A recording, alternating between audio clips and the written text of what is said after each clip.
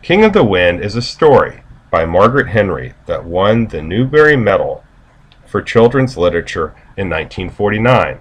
The story is about Sham, the Godolphin Arabian, that was born in the Sultan's palace in Marrakesh in Morocco, a very beautiful and extraordinary palace of the Sultan.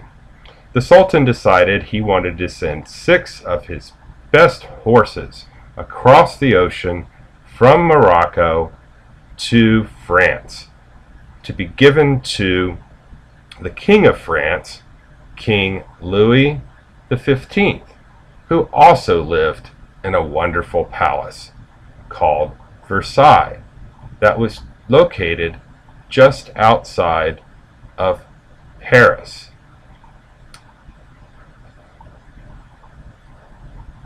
The Godolphin Arabian was actually the first thoroughbred to be introduced to Europe. However, the French thought that the horses were not suitable for racing, but Earl Godolphin found the horse in the markets of Paris and decided to buy the horse and ship it home to England so that it could race at Newmarket, a very famous race course in England. The Godolphin Arabian became the very first thoroughbred introduced into Great Britain, and I highly recommend this book to you.